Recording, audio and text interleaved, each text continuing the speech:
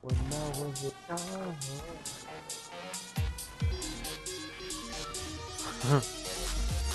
What the fuck? what the fuck? I'm gonna have to watch that again because you, you're